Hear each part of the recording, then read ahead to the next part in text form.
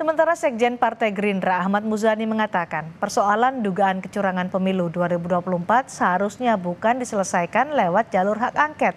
Menurutnya masalah itu bisa dibicarakan dan diselesaikan dalam rapat-rapat konsultasi di DPR dengan mengundang penyelenggara pemilu. Untuk apa kemudian angket diselenggarakan untuk mempersangkakan sesuatu yang kita semua juga merasakan di lapangan dan itu bisa dibicarakan atau diselesaikan dalam rapat-rapat konsultasi antara Bawaslu, KPU, DKPP dengan Dewan Perwakilan Rakyat. Sementara